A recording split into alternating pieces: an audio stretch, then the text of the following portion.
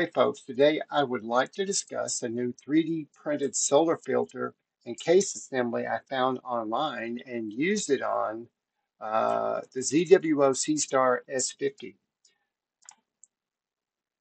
So the solar filter that I'm referring to is the Astro Essentials solar filter found on the First Light Optics website. And of course, a link will be provided in the, this video's uh, video description section.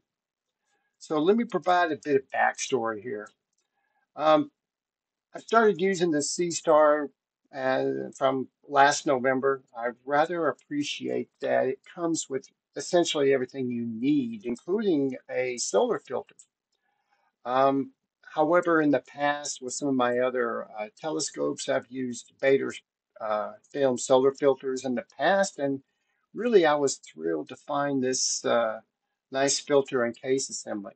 So the, on the left here, you see the uh, desk cover uh, that that's typical of what you can find online uh, compared to this uh, Astro Essentials solar filter and case. And on the right, of course, you see the filter is, uh, it fits nicely on the Seestar. All right, so here we have a comparison using the Seestar's two times magnification. All right, the image on the left, or the video excerpt on the left, uh, was you was taken using the stock ZWO uh, filter, and the one on the right utilized the Astro Essentials solar filter.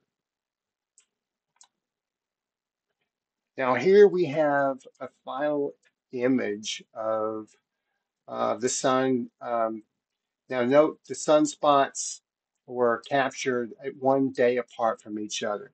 The one on the left, of course, is the Seestar solar filter, and the one on the right utilized the uh, Astro Essentials Baader uh, material filter. All right, so what I did, I, I tried to book, to get the most out of each capture, uh, trying to get as much of both the surface detail and the sunspot detail.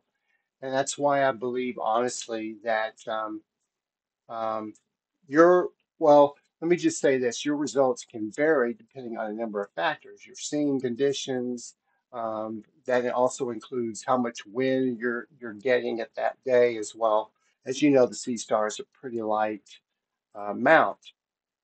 But overall, I think the Astro Essentials filter um, does a great job.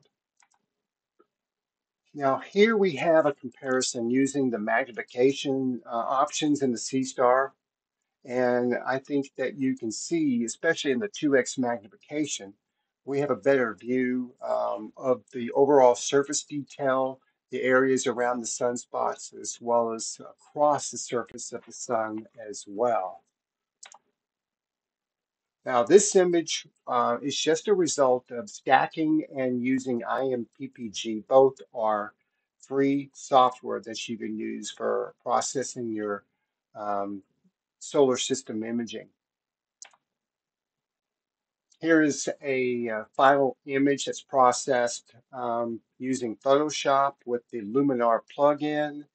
And here is the um, same image, of course, with the area regions identified um, courtesy of spaceweather.com.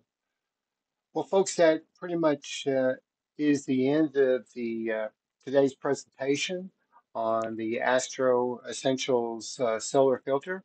I think that you'll find this filter a great addition to your accessories for the ZWO Seestar. And take care, folks, and clear skies. We'll see you.